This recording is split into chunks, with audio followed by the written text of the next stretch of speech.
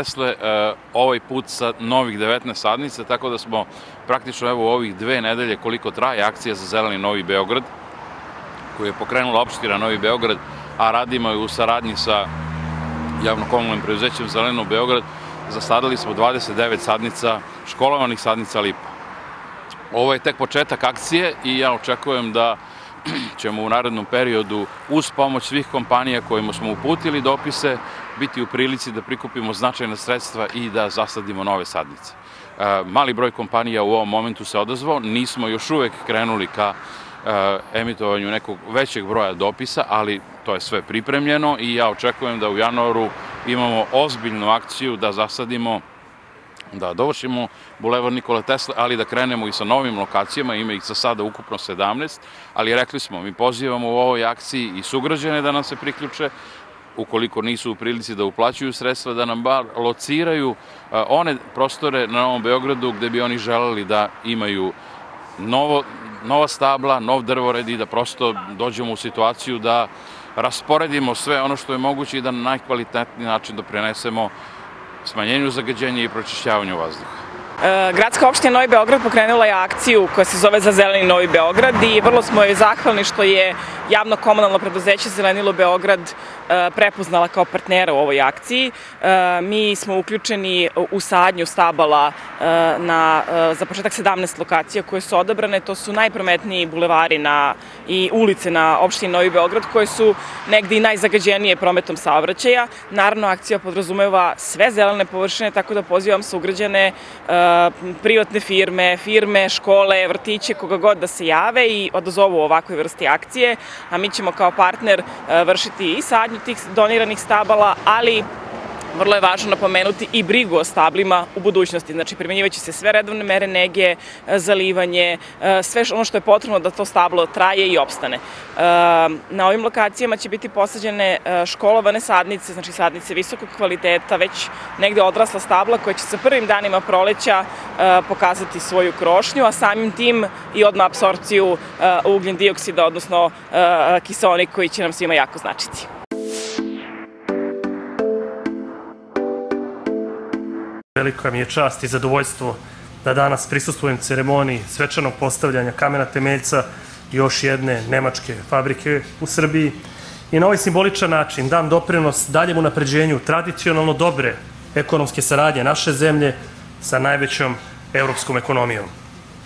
Ponosni smo na činjenicu da je danas u Jagodini jedna ozbiljna farmaceutska kompanija kakva je Šot Farma pokrenula izgradnju nove fabrike ovde u industrijskoj zoni u CT parku u Jagodini. U ovoj farmaceutskoj kompaniji posao će odmah nakon izgradnje fabrike dobiti 130 radnika, a u kasnim fazama će ukupno ovde biti otvoreno 350 novih radnih mesta. Na ovom mestu zaista moram da napomenem da je danas Nemačka glavni trgovinski partner Republike Srbije. Nemačke kompanije prisutne su u svim vitalnim sektorima naše privrede – S druge strane, Srbija je zbog svojih prirodnih resursa, strukture privrede, veličine tržišta i naravno tehnološke povezanosti važan partner Savezne Republike Nemačke u regionu jugoistočne Evrope. U Srbiji posluje više od hiljadu nemačkih kompanija koje zapošljavaju oko 80.000 radnika. A stabilnom srpskom izvozu značajno doprinose nemački investitori koji su na listi 15 najvećih srpskih izvoznika u svetu. Zadatak vlade Republike Srbije je da privrednicima obezbedimo transparentno i predvidivo poslovno okruženje, fair tržišne uslove, kao i da kroz unapređenje uslova za plasman roba u inostranstvu pospešimo poslovni ambijent, naravno i zapošljavanje. Vidimo da strani investitori imaju poverenje u Srbiju i to je jako važno. Uspeli smo da i pored teških godina u kojoj se nalazi Evropa izgradimo održivo poslovno okruženje i obezbedimo političku i ekonomsku stabilnost. Danas je u Srbiji stopa nezaposlenosti na istorijskom minimumu. Vidimo stabilan ekonomski rast i samouvereno idemo ka cilju da prosečne plate u 2027. godini iznose 1400 evra. Još jednom, dozvolite mi da se zahvalim kompletnom menadžmentu kompanije Shot Pharma što je izabrala baš Srbiju, baš Jagodinu za svoju prvu investiciju i za izgradnju fabrike koja će plasirati svoje proizvode ne samo u Srbiji, ne samo u jugoistočnoj Evropi, već u celoj Evropi. U vladi Republike Srbije imate stabilnog partnera, a siguran sam da će i grad Jagodina biti dobar domaćin i na raspolaganju da pomogne da fabrika što pre zaživi kako bi naši građani ovde u Jagodini dobili nove prilike da nađu svoj posao. Na samom kraju dozvolite da izrazim iskrenu zahvalnost svima koji su udeluju u realizaciji ovog velikog projekta. Neka ova fabrika bude još jedan simbol našeg povezivanja, našeg napretka, prožimanja srpske i nemačke privrede kako bi zajednički podigli ekonomski standard i bolju perspektivu za sve ljude u našoj državi.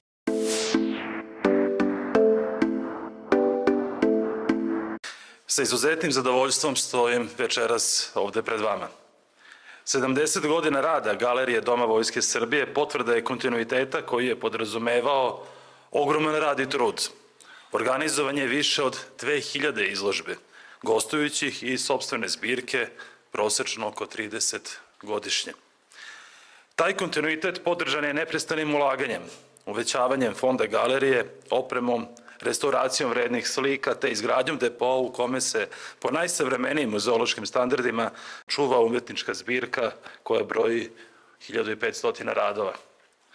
Nova izlagačka koncepcija galerije otvorila je vrata za vrhunske sadržaje muzeje i galerije iz čitave Srbije, učinivši ih tako vidljivijim i prestoničkoj publici.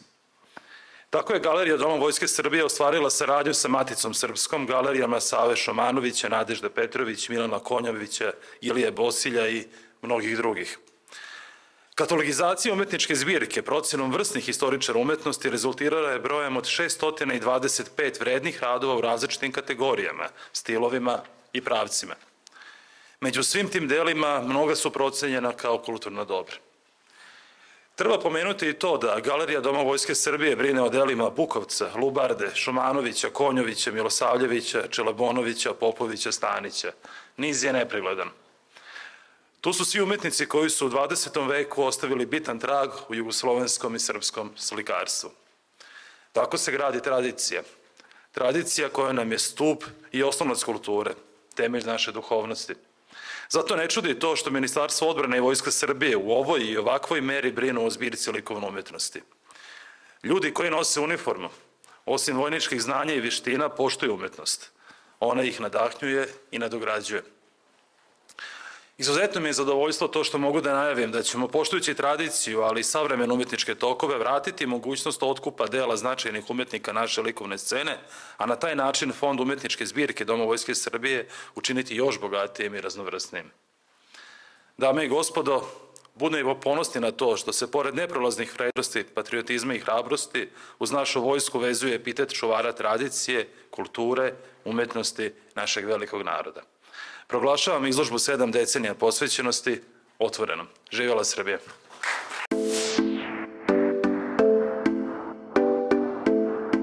Veoma srećan što radovi napreduju izuzetnom brzinom u na deonici od Novog Sada do Subotice. Zahvalan kineskim železnicama na ogromnom trudu da mnogo pre roka ispune svoje obaveze.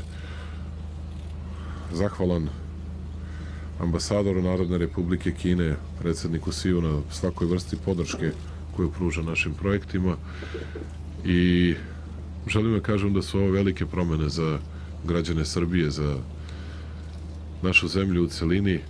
Ljudi da bi razumeli od Beograda do Subotice ići će tačno 75 minuta i to centar Beograda, centar Subotice. To danas da idete iz centra u centar nije moguće bez dva sata i to ne spore vožnje, a ovako vozom na najlepši mogući, najudobniji mogući način.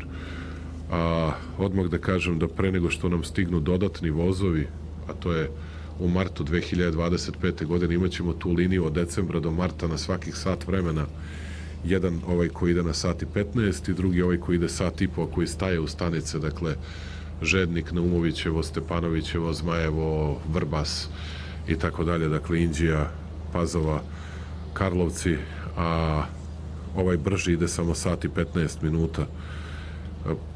Od maja imaćemo mnogo češće te vozove na liniji Beograd-Subotica, a verujemo od marta 26. da ćemo imati tako česte vozove Beograd-Budimpešta. Beograd Budimpešta 2 sata i 40 minuta, centar, centar, izlazite na Vaci ulicu. Ja mislim da to, ne, ne znam, moji kada voze kolima uz sve ono što mogu da obezbede prednost i ne znam ni ja kako sve to rade, pa mi ne možemo da stignemo ni blizu za takvo vreme. Tako da to su neverovatne promene u Srbiji. Verujem da ćemo moći da privučemo još mnogo više turista, ali da ćemo nastaviti da gradimo. Želim se zahvalim kompaniji kineskih železnica CCCC, ako se ne varam, koji izvanredno obavljaju svoj posao i kada čujete predsednika pokrajinske vlade Mirovića koji nikad nikog ni za šta ne hvali da to da hvali njihov rad i ministra Vesića koji tvrdi da je to najbolja kompanija koja kod nas radi onda možete da mislite koliko su ljudi uspešni i hvala im na tome. Mi ćemo nastaviti da gradimo našu zemlju, da menjamo njeno lice. Krajnji cilj je za nas je rok svih rokova 1. decembar 26. Mi tada predajemo ključeve EXPA, mi do 1. decembra moramo da završimo sve 2026. Dakle, imamo nešto manje od tri godine da uradimo sve moguće radove u Srbiji, da predstavimo Srbiju na najbolji mogući način i to u tome sam sasvim siguran da ćemo uspeti. Najpre zatre ime Banjska i Rajska banja u Banjskoj koju smo dosta novca uložili, a onda bi da se zatre srpsko ime i prezime na Kosovo i Metohiji. To rade temeljno uz glasno ćutanje sveta, ali opstaće Srbiji i sačuvaće i svoju imovinu i svoj kapital i svoju zemlju. Ja sam posebno zadovoljan što ste ovo pitanje postavili. Ovo su bili do sada najčistiji, gotovo nikada ne možete do perfekcije da sprovedete izborni proces. Najčistiji, najpošteniji izbor i znaju oni to sve. I znaju to svi. I zato nikada nisam za parlamentarne izbore, iako nisam ni predsednik stranke, dobio toliko čestitki od ljudi baš iz Evropske unije. A da ne pričamo svima drugima što je podrazumevajuće. Da, ja poštujem svaki glas. Ja poštujem tih gotovo 900.000 glasova koje su dobili predstavnici bivšeg režima, ali moram da poštujem i milion i 800 hiljada glasova koje smo dobili mi. Onoliko koliko poštujem 900 hiljada ljudi na jednoj strani, moram da poštujem milion i 800 hiljada ljudi na drugoj strani. I upravo tako, biračka volja, izborna volja naroda biće poštovana i ne mogu više ni da govorim o dečijim igrama, o tome ajde idemo da tražimo beogradske, onda je ajde da promenimo taktiku, nemamo baš zapisnike, sve je u redu po zapisnicima, ali aj mi da tražimo parlamentarne, pa će neko Vučića da natera da nam odobri beogradski. I onda ćemo svi da budemo srećni. Ajmo se igrate kod deca. I svi znate da pričaju gluposti, svi sve znaju da ni na jednom zapisniku nemaju primetbu, u Beogradu nemaju primetbu ni na jednom zapisniku. Zato što su očekivali pobedu i zato što znaju da je sve bilo fair i čisto. I zašto znaju da su ovo stvarni rezultati. Nego gde bi onih 40.000 glasača iz Republike Srpske što ste obmanjivali javnost danima? Na kraju ih nije bilo ni 6.000 i to taman onoliko koliko ih je bilo i u njihovo vreme kad su im dali dvojno državljanstvo i mogućnost da glasaju. Tad je bilo 4.500 ili tako nešto. Kao deca neka. Nikad nisu u stanju da priznaju poraz, što smo sve unapred govorili da vas podsjetim šta će da rade. Ana Brnabić obavestila javnost da će da upadaju u RIK. A zašto u RIK, iako nema nikakve nadležnosti sa GIK-om, i on nije drugostepeni organ, viši sud je drugostepeni organ, a ne RIK. Dakle, upali su tamo zato što su znali da mogu da imaju poslaničke prostorije u kojima mogu da spavaju, da štrajkuju i da ne znam šta rade. Ajde, lepo, odrastite malo, spremite se za neke predstojeće izbore, slede vam važni lokalni izbori i u Novom Sadu, i u Nišu, i u mnogim drugim gradima u celoj Vojvodini imaćete lokalne izbore, mislim u 44 opštine. Dakle, izvolite, pobedite, možda će ljudi da budu oduševljeni vašim ponašanjem posle ovih izbora i to je sve u najboljem redu. Tako da, ja sam vidio, oni su stavili na naslovnu stranu nema Makronove čestitke, kaže. Pa najlepšu čestitku sam dobio od Makrona. ako vas već to interesuje. Samo što znate, on je predsjednik države, a ovo su parlamentarni izbori, a ja nisam čak ni predsjednik stranke, ali mi je kao drugu i prijatelju poslao najlepšu moguću čestitku. I to zvanično, naglasio da je zvanično. Niko mi nije poslao tako lepu čestitku kao Emmanuel Macron. Šta ćete, to je kad neko ne zna šta će sa sobom, pa onda ajde, evo. Sve su učestali i zahtevi. Oni doveli njih troje iz levičarskih stranaka iz Evropskog parlamenta, a onda ajde da vodimo kampanju protiv Bilčika, koji uzred iz najveće evropske partije, to je IPP i tako dalje. I sve tako, sve vam je tako. Ima Srbija svoje zakone, zna narod odlično sve i ko ima vremena da gubi, neka gubi, mi nemamo vremena za gubljenje, mi ćemo da nastavimo da radimo, da guramo zemlju napred, da vodimo zemlju napred i to ćemo veoma uspešno da činimo i u budućnosti. Što se tiče čestitki, od svih iz okruženja koji su u Evropskoj uniji, sem iz Hrvatske, dobio sam čestitke. Od svih. Dakle, bez izuzetka. A od ovih nisam nikad dobio čestitku. Oni su ljudi najtuž... Za njih je uvek tužan dan kad su izbori u Srbiji zato što znaju da će njihovi da izgube. A što se svih ostalih tiče, od svih sam dobio. Od Rumuna, Mađara, i od predsednika, od premijera, premijera Rumunije, predsednika Bugarske, od svih mogućih. Dakle, nema, nema ko od koga nisam. Tako da, to je onoliko koliko se sećam sad. Ali ljudi, vi morate razumeti, ovo su parlamentarni izbori, ne predsednički. I oni ljudi čekaju za očetak procesa. Tad će oni zvanično da upućuju čestitke Vučeviću i ne znam kome već. Ne postoje neke procedure. Ali to im je kao kad deca pomisle da mogu sve na silu i da mogu sve na viku, I pri tome sve znaju šta je istina i baš ih briga. Tim gore po istinu, tako da ljudi da se ne sekiraju što se tiče blokada, pa ćemo, mi ćemo da izbegavamo policiju, pošto smo mnogo pametni, pa ćemo da zaustavljamo saobraćaj na po 5 sati. Jedino što će policija morati da juri, to je da ih ljudi ne linčuju na ulici. Što oni valjda misle da oni imaju pravo da oni nekoga napadaju ili ne znam ni ja šta sve. To je ko ovaj što kaže do, dobio sam pare od Đilasa i Marinika, onda kaže ne, ne, natrala me policija. Kaže bio sam u 29. Nikad u životu nije bio u 29. A on u adresu Vojvode Stepe to mu rekla policija da kaže gde je uzimo pare. Joj, joj, joj, joj, joj, joj. Eto. I šta ste mi još za Nemce? Ja mislim da naši državni organi sastavljaju jedno važno pismeno o uplivu jedne važne zemlje i mešanju jedne važne zemlje u izborni proces u Srbiji do sada na najbrutalniji način. Verujem da će za desetak dana do nove godine negde imati to završeno i onda ćemo to pred pravoslavni Božić verujem moći da uputimo celom svetu da vide kako se vrši takva vrsta mešanja u procese koji bi trebalo da suvereno pripadaju jednoj nezavisnoj zemlji. Ali to nikakve veze nema sa tim. U skladu sa izbornim procedurama naši izbori bit će okončani i mislim najkasnije republički 30. a gradski možda tamo malo kasnije. I gradski verovatno kako stvari stoje ćemo ići ukoliko Nestorovićeva lista ostane pri tome da neće da podrža nikoga, jer zvanično je juče rekao da neće da podrža nikoga, onda ćemo u nekom trenutku ponovo ići na gradske izbore. A republički izbori vrlo brzo će biti konstituisan parlament, a daćemo sve od sebe, ne želim da obećavam, jer ja mislim da je potrebno i to je ono što me mnogo više brine, da budem sasvim iskren, potrebno je da najveća partija u zemlji donese odluku da sebe jednim delom promeni.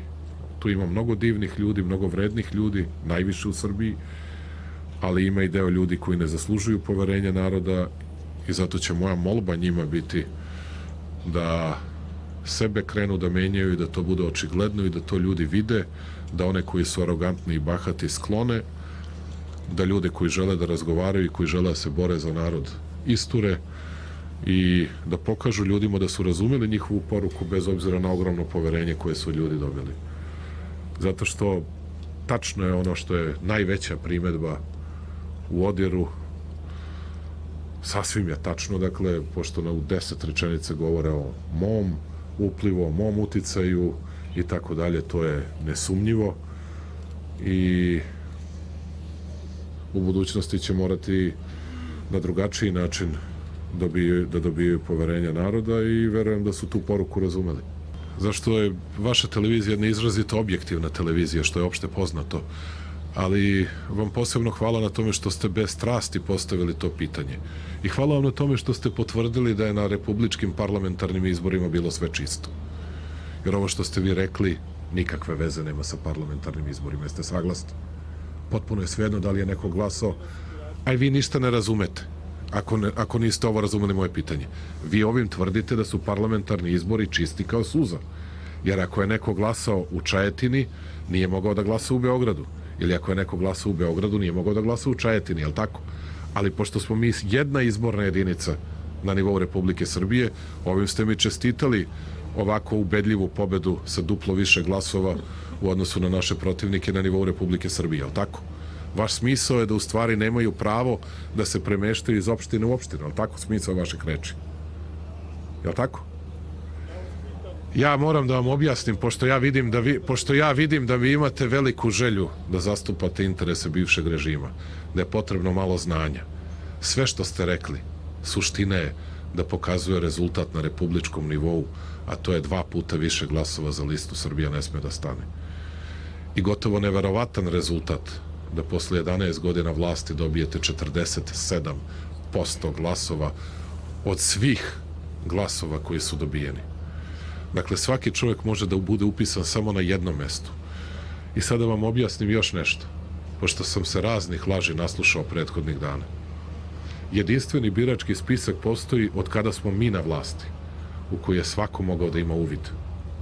Jedinstveni birački spisak, a ne spisak kao kupus razasud po opštinama koji smo imali u vreme dok su ovi vaši bili na vlasti.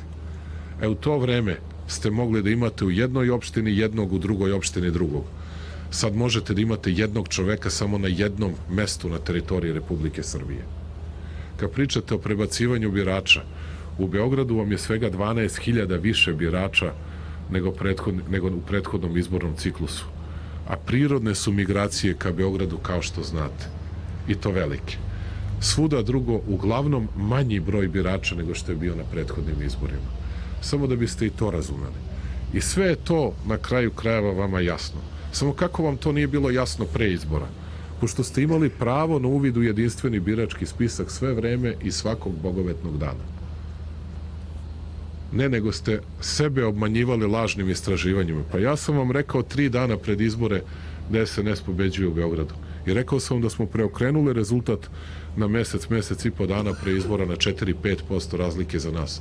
U izbornoj noći sam čak smanjio procente SNS-a, povećao procente njih, jer smo mi imali naš uzorak je pokazivao 1% manju razliku za nas nego što je stvarno bila kada su stigli materijale sa biračkih mesta.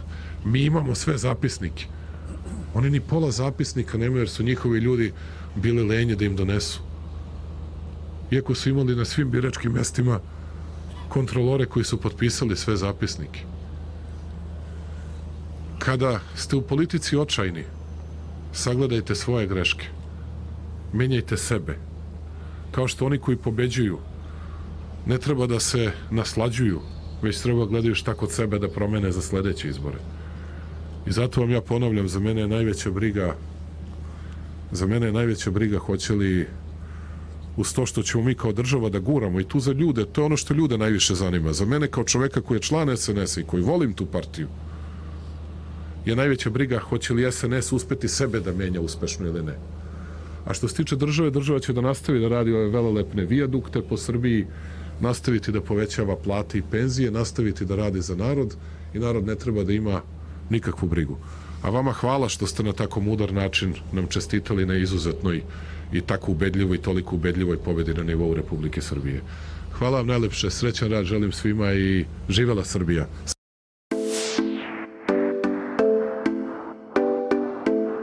Stvarno je velika sreća biti u domu danas porodice Mirosavljević, upoznati njihova dva sina, Janka i Jakova. Gospođa Mirosavljević je jedna od 552 majke koje su do sada ostvarile pravo na subvenciju za kupovinu prve e, nekretnine. E, pravo na ovu subvenciju e, imaju sve žene koje rode dete u našoj zemlji, bez obzira koliko imaju godina, bez obzira koje je dete po rođenju, bez obzira da li su u radnom odnosu ili ne, čak i da li su, da li su u braku ili ne. Uslov je da dete ima e, do godinu dana, da u tom periodu predaju zahtev i da nisu vlasnice nekretnine na području Republike Srbije. E, i e, ova subvencija se odnosi na bespovratnu pomoć države u vrednosti od 20% od procenjene vrednosti nekretnine i posebno smo ponosni na ovu, ovu meru države, jedna od najznačajnijih pronatalitetnih mera koja je uvedena na ličnu inicijativu predsednika Aleksandra Vučića i vidimo velik, velik odaziv žena koje su se ostvarile kao majke. Ostvarila sam pravo na subvenciju za kupovinu prve nekretnine, a po osnovu rođenja deteta. E, prošle godine stan je bio u izgradnji i ostvarila sam pravo na 20% iznosa e, nekretnine. E, dokumentacija koju sam skupljala nije uopšte bilo komplikovano prikupiti bilo šta od papira. Zahvaljujem se ovom prilikom e, mojim sugrađankama koje rade u opštini u MUP-u. Veoma brzo za desetak dana sam prikupila svu dokumentaciju i predala i u zakonskom roku od 60 dana e, mi je javljeno da je odobrena subvencija. Koliko je prva nekretnina svima nama bitna u periodu kada formiramo porodicu, evo upravo govori i ova situacija gde e, jedna četvoročlana porodica evo sada ima priliku da e, kupi, da kupi svoj stan i da se u njega useli i da tu, da kažem, svi u svoje porodično gnezdo. Ono što je veoma bitno jeste da je država prepoznala potrebu mladih bračnih parova za prvom nekretninom i e, što se vlada Republike Srbije odlučila za jedan ovakav program. Ono što je jako bitno jeste da i pored ovog programa postoje, e, postoji niz programa kada je u pitanju podizanje nataliteta, to jest demografska politika i ono što je jako bitno jeste da su svi ti programi kao što je kupovina prvog stana ili novčana naknada za prvo, drugo, treće i četvrto dete i naravno ako se vratimo na to još, ako nadovežemo na to još i programe grada Beograda i e, naše opštine Obrenovac, stvarno se puno čini kada je u pitanju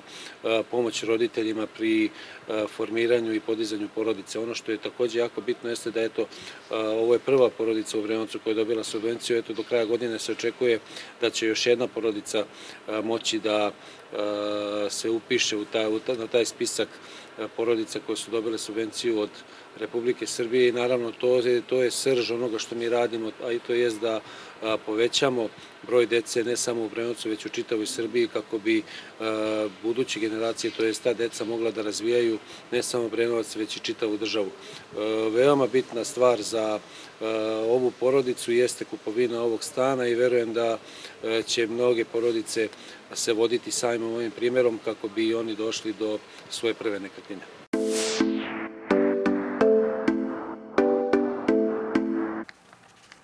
Šta posle svega što je proteklih vekova izrečeno o arhivima reći, a da već nije rečeno.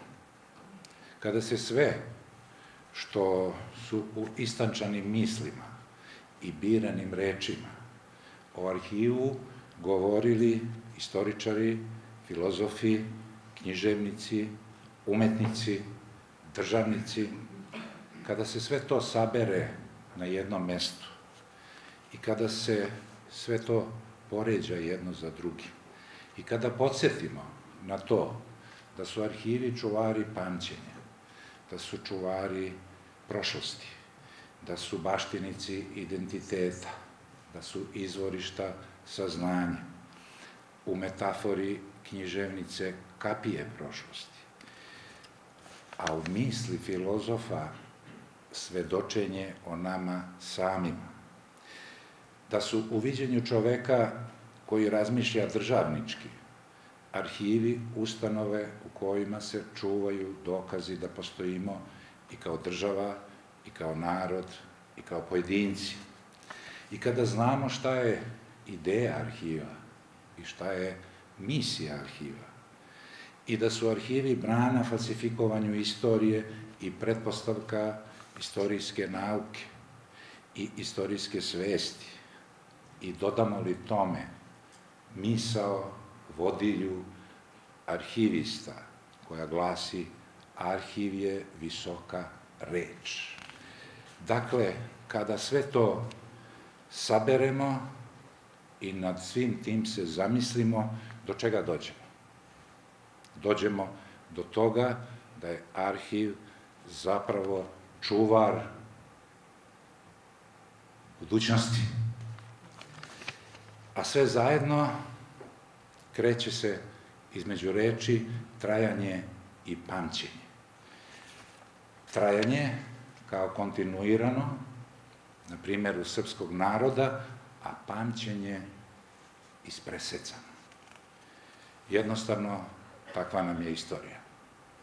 A šta je to što je u istoriji srpskog naroda odredilo viziju složene i obimne delatnosti Državnog arhiva Srbije?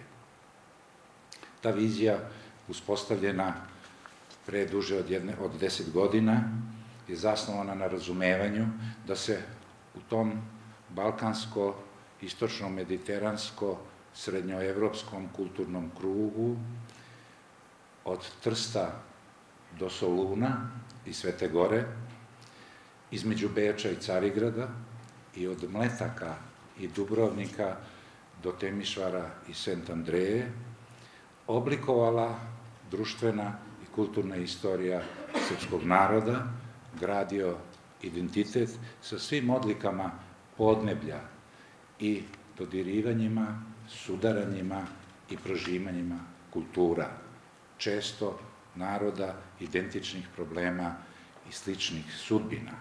Poštovani i cenjeni skupe, dragi direktore, dragi zaposleni, kada se na početku obraćanja odlučim za ovakvu formulaciju koja podrazumeva da ima toliko uglednih zvanica i toliko važnih i pojedinaca institucija prisutnih na jednom mestu, to je samo znak da se nalazimo u jednoj jako, jako važnoj za državu, za naciju, instituciji, jednoj identitetskoj instituciji.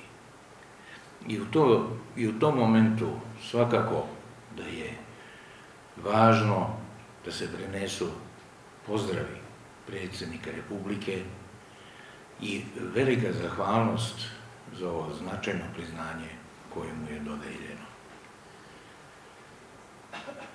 Ono što mene posebno raduje, to je što Arhiv Srbije nije neka suvobarna institucija koja skuplja i prikuplja dokumente, nego se ovde govori i o umetnosti, govori se o istoriji, govori se o digitalizaciji, govori se o mikrofilmovima.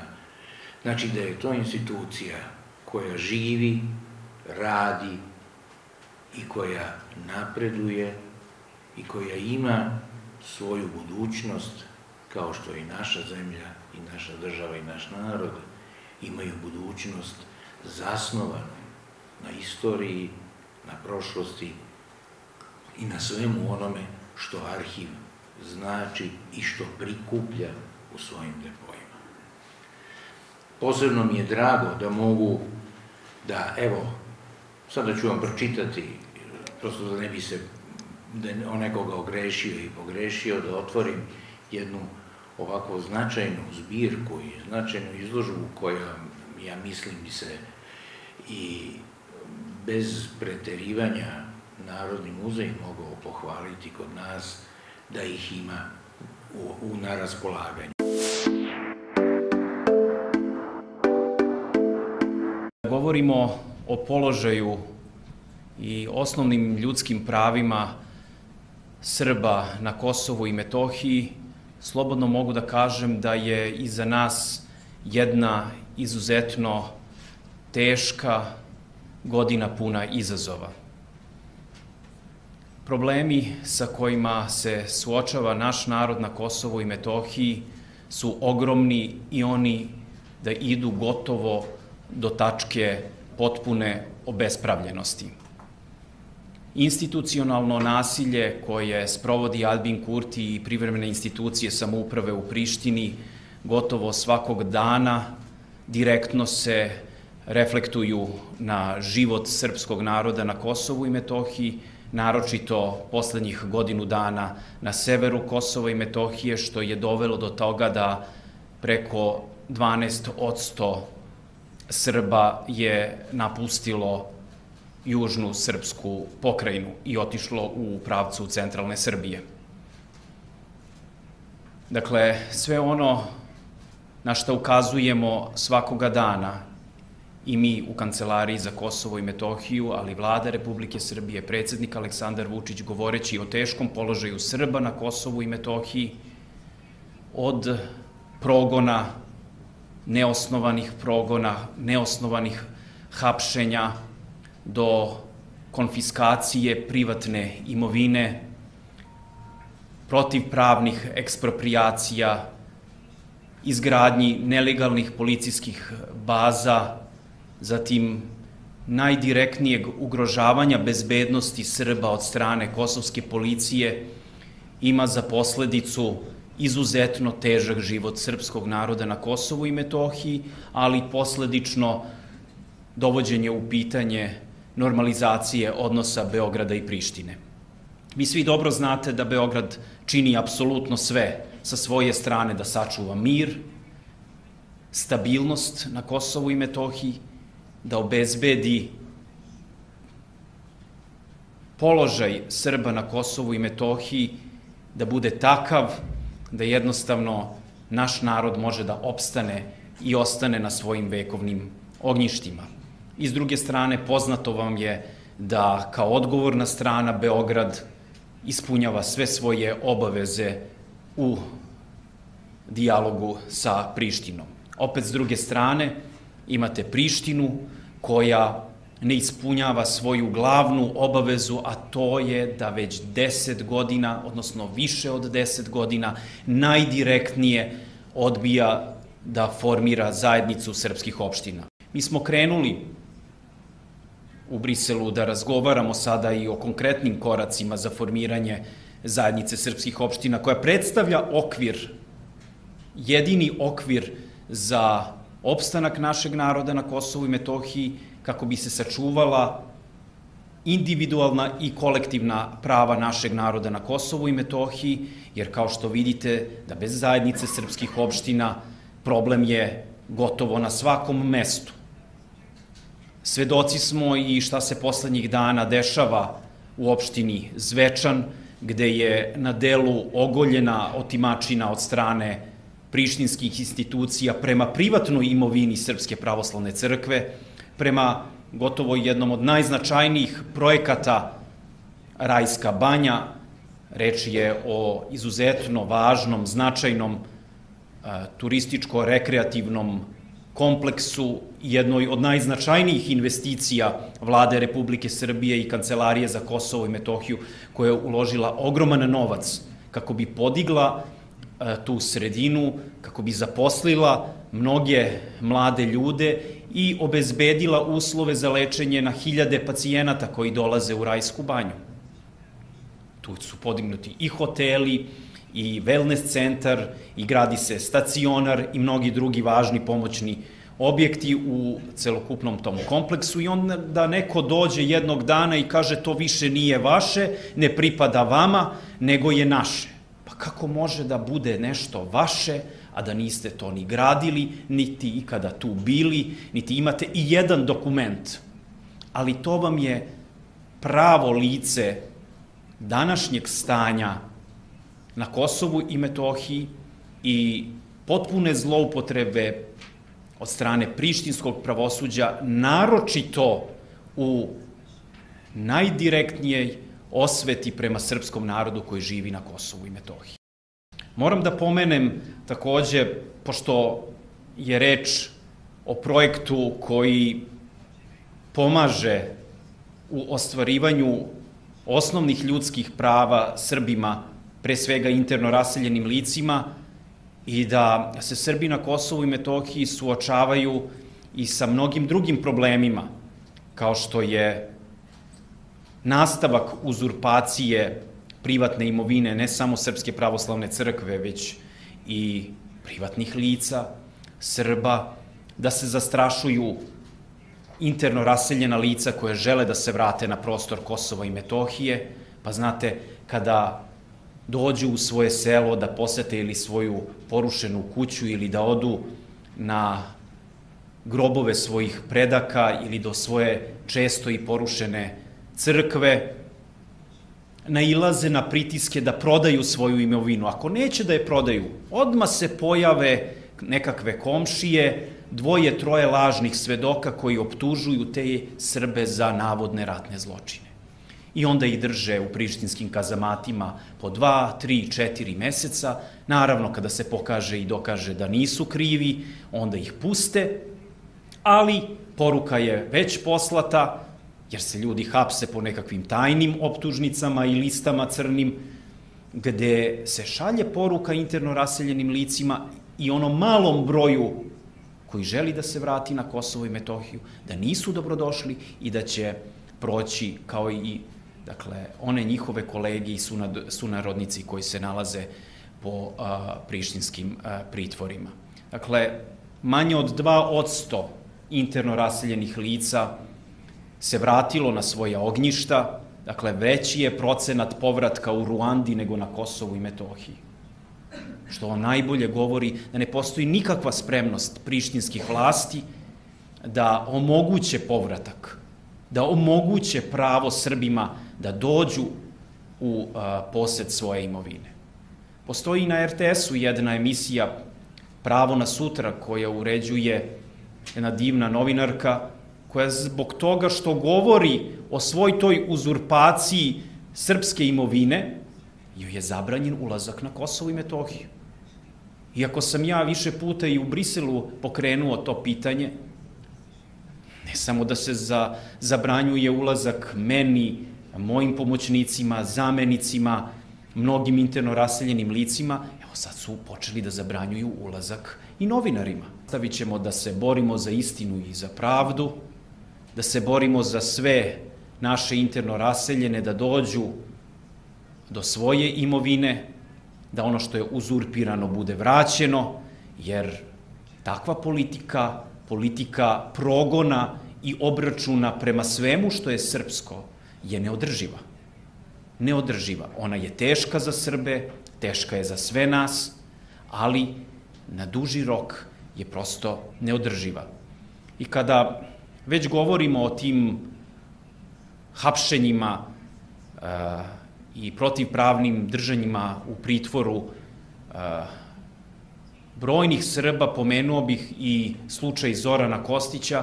Ja sam po ko zna koji put juče uputio dopis međunarodnim organizacijama na Kosovu i Metohiji tražeći da se uključe u rešavanje tog slučaja, jer je reč o starijem čoveku iz Prilužija, koji je, naravno, po već utvrđenom receptu Prištine, optužen za nekakve navodne ratne zločine.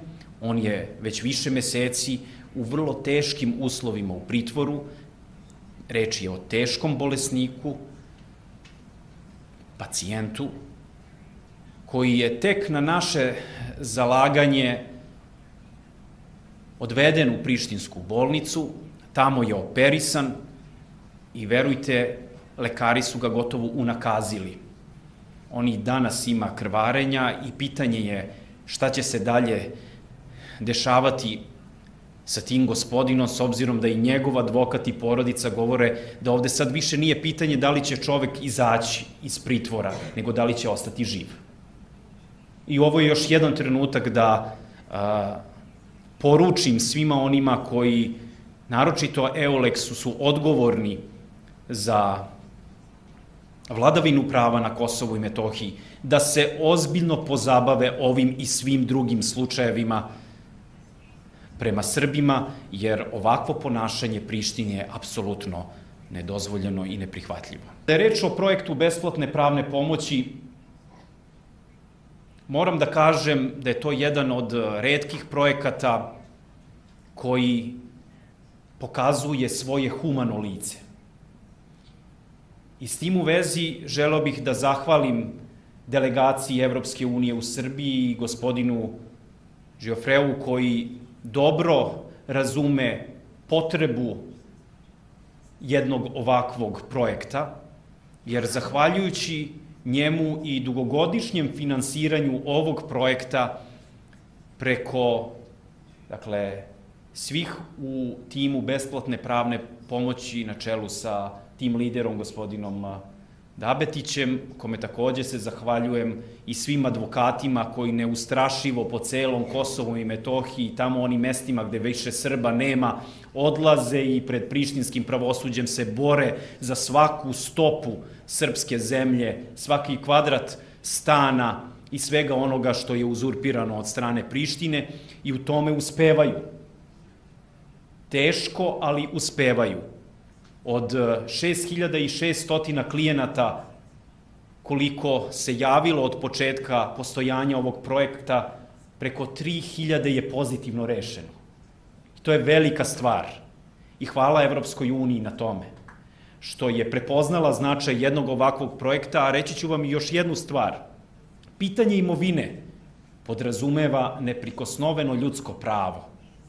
I kada iza takvog jednog projekta stoji Evropska unija, Znate, i onda dole u Prištini ne ponašaju se onako bahato kako se generalno ponašaju prema Srbima, već moraju da imaju sada neku vrstu rezerve, jer iza tog projekta stoji Evropska unija koja između ostalog šalje i jasnu projekt, e, poruku da primat, privatna imovina je neprikosnovena, da je svetinja i da svi oni koji su vlasnici svoje imovine moraju da dođu u njen posjet. Tako da, Značajno je da se nastavi i dalje sa ovim projektom. Hoću da kažem da ovo nije kraj, već se nastavlja i sa novim projektnim ciklusom u naredne dve godine. To je važno i zbog toga da bi i advokati mogli da nastave sa svojim punomoćima i e, zastupanjem svojih klijenata pred e, prištinskim pravosuđem, jer znate, u pitanju su mnogi projekti koji su, odnosno e, postupci koji su pokrenuti i e, tu je postojalo i dodatno razumevanje gospodina Žiofreja kada u trenutku kada je projekat trebao da zastane, Evropska unija je pomogla da se on nastavi upravo zbog toga da svi ti procesi ne bi stali. Tako da, drago mi je da zajednički učestvujemo u jednom ovako važnom i značajnom projektu, projektu koji daje nadu Srbima na Kosovu i Metohiji da su njihova prava i e, život na Kosovu i Metohiji, pored svih problema i izazova, koliko toliko ipak mogući.